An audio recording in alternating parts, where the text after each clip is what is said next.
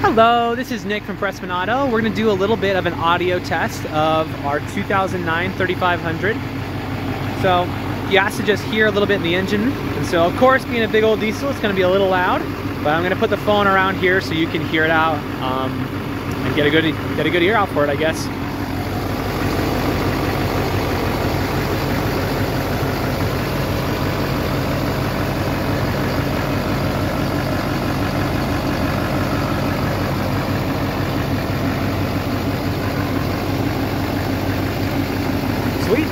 So, so we're gonna let that continue to warm up for a little bit and I'll probably grab you another video with the other stuff you're looking at. But for this, we will still walk around and get a good idea of just kind of all around the vehicle, make sure everything's good to go out there. So, um, like we kind of already talked about, there are a couple cosmetic things up here at the front, nothing really major. I mean, no like big dents or anything, more just rock chipping and what whatnot. But for a 2009, not bad. So let's go around.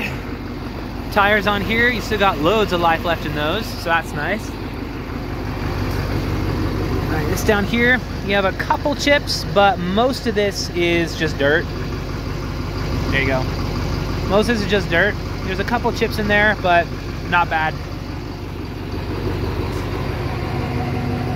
So other than that, you got a couple things here and there.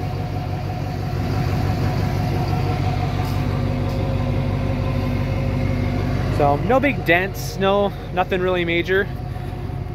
More just cosmetic things here and there. Some small stuff up there.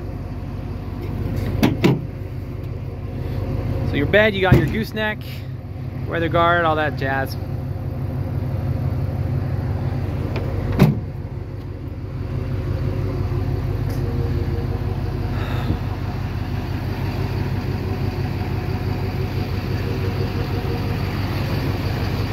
So as far as dents go, you got one right here. It's about as bad as it gets. It's it just looks like a door hit it. And then another one here. Probably just someone parked next to him a little close, but nothing wild. As far as the interior goes, it's in very good condition. It's got a couple smaller things here and there, but all in all, pretty solid. So the odometer is good. I don't know what was up with the pictures online, but it is working just fine. So this one needs an oil change, but other than that, everything looks super solid. Double check a couple things real quick, make sure the audio's working.